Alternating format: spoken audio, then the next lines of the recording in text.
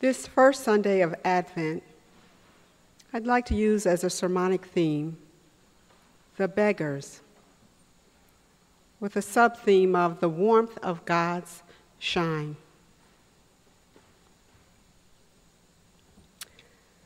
For those of us that frequent downtown Hyde Park, walking around through the downtown area through 57th Street on foot, you come to recognize certain faces on those streets where you spend time. You come to especially recognize certain faces of people who spend more time outside than they do inside, who heretofore I will refer to as the outside people. I have a path I frequent in Hyde Park. There's a path I take, and it delivers me to somewhere that I want to go. It connects me to a destination that I'm trying to get to. And oftentimes, at certain times of the day, when I'm walking down this path, I see Mark standing right in front of a certain establishment. I remember the first time that I saw Mark. He was more animated and doing a lot more talking, and he wore a long black and green garment, dragging almost to the ground. But it's been a few yards, a few years of observing outside people and observing Mark and he seems to have settled down. His demeanor seems more quiet, but I still see him. He speaks when spoken to. He stays mostly to himself. Every now and then I see him riding around on a divvy bike. I'm not sure how he got it. And he only asks one thing he asks for money to feed himself. And I wonder to myself, how bad do things have to get for a person to beg? How many meals does a person have to miss before one allows oneself to stand on a street of strangers, hearing no after no after no, waiting for a yes? How far do things have to go for one to resign oneself to ask strangers, with often a lot on their plates as well, to have some compassion on your situation? How far does one have to be pushed to be desperate to stand on the streets to ask for help. And what happens inside of a human when they are reduced to having to ask someone else to help them? I want to talk about the beggars today. As a pastor, I get a fair amount of asks from people who are in some desperate places. When they come to me, I can tell they are at the end of choices and being able to handle their situation on their own. They are mostly strapped in hope and sadness at the same time. They still believe that sometimes the church can and will help. And so they climb our steps asking for help. They come to me in the role of the pastor, hoping to be saved from their circumstances. They come because they have run out of options and paths. And etched in their eyes and voices is a guttural cry for a lifeline to be thrown out to pull them in from the waters that threaten to overtake them. This is where we enter the psalm today. In all of the Old Testament, the one place we hear people's desperation, where we hear people's bareness, is in the Psalms. Many of the Psalms are filled with beggars lamenting over their situation the beg is present here as they try to understand not only the absence of God, but why has God turned away from them? They question God. They come to the conclusion that they must have really messed up because God is angry and absent from them. But they do not know what they've done exactly to make God so angry.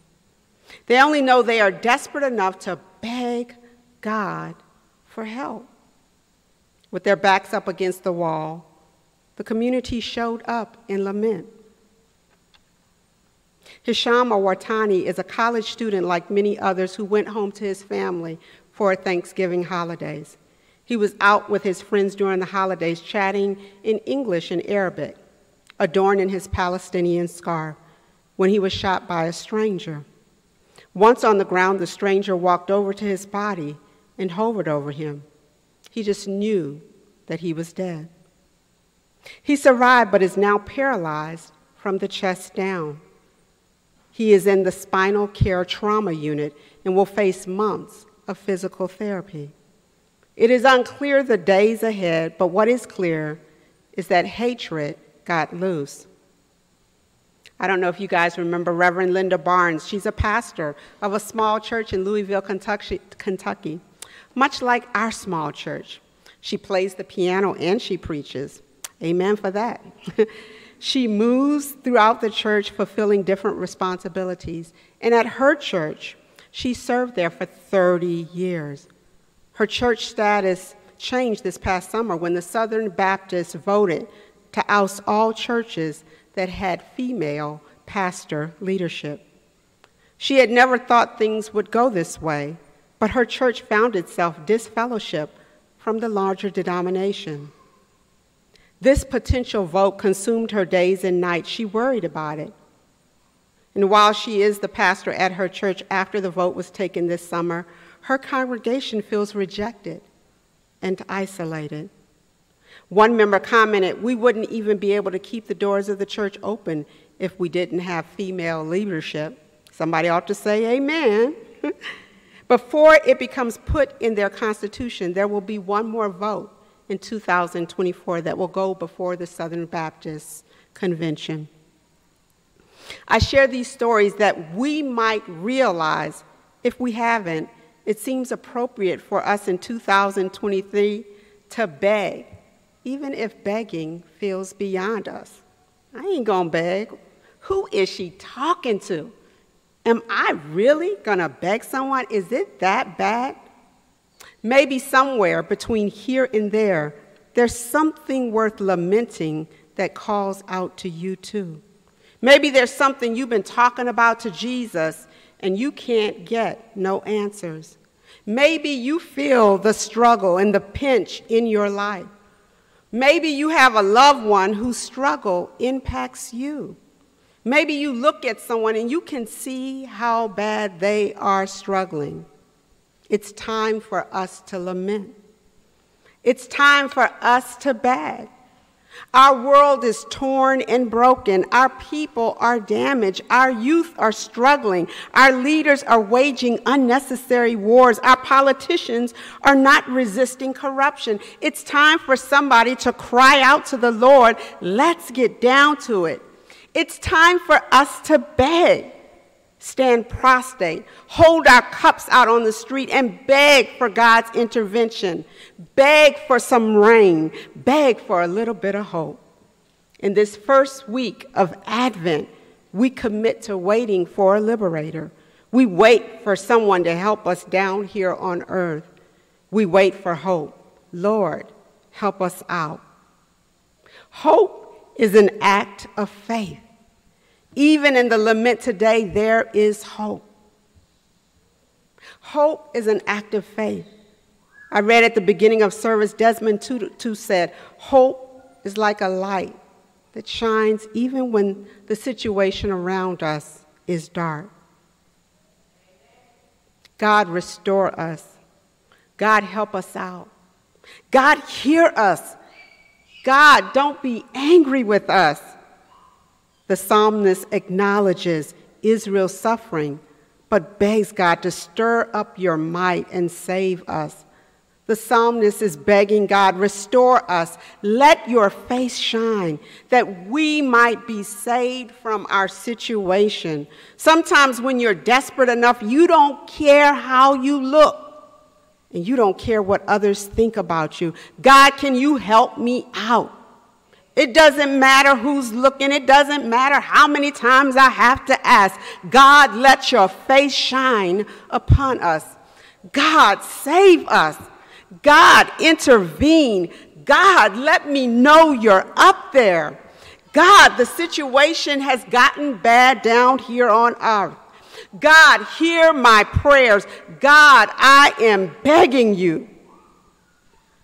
God, we are not so proud that begging is beyond us. God, we are begging you to see your people through. In spite of everything, this community still hopes that God will save them. Yesterday, some strangers had compassion and they buy Mark a meal. Yesterday, he feels the warmth of bread and meat touching his stomach. But more than that, he feels the hope of someone acknowledging his presence and his situation. Someone spoke to him. Someone looked into his eyes. Someone acknowledged his need for nutrition. More often, people try to distance themselves from him like they're going to catch the cooties. Try not to see him. Try not to be bothered. But yesterday, he not only felt in his stomach, he felt his humanity, and a tear finds its way down his face. We wait in this season of Advent for hope against unspeakable odds. The young college students have a launchgood.com page. They have a goal to raise $250,000, and they've already raised $242,000 since after Thanksgiving. Over 3,000 people responded with their wallets.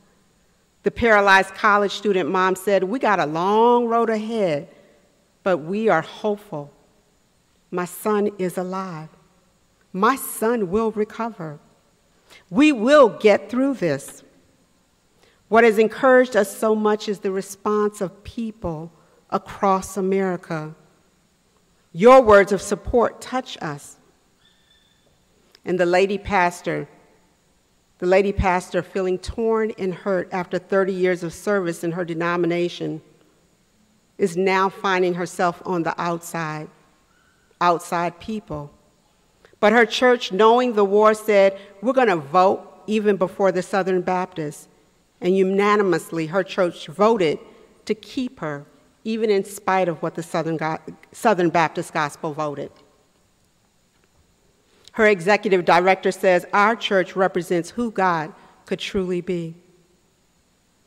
While there are unspeakable social ills happening, not afar, but even in Chicago, even in our communities, even in our lives. People of God, we are called not only to wait on hope, we are called to embrace hope.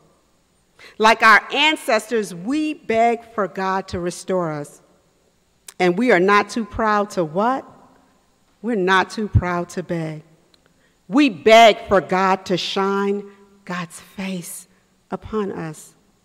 We beg for God to save us. We beg for God to work it out. We beg God to show up in this world. We wait for hope. Amen.